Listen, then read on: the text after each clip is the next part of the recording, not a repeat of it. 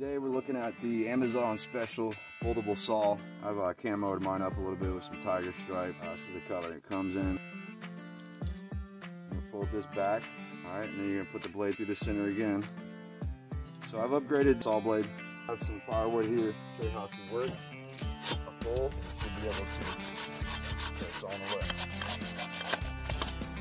Definitely less than a pound. Definitely better than axes. Uh, later in another video why I don't bring an axe.